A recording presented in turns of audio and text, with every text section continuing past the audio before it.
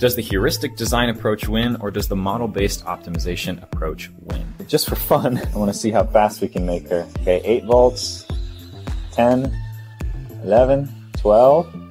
No matter how much voltage I put across the unloaded robot's motors, the current shouldn't change. So the extra power that I get, right, which is voltage times current, the current doesn't change, it's just the voltage changing, and that translates to a faster gait cycle. That's where that power is going. Now, the only load that would be affected by the speed would be the acceleration of the legs. But because the legs don't have that much inertia in the first place, their acceleration doesn't contribute a lot to the external torque applied to the motors.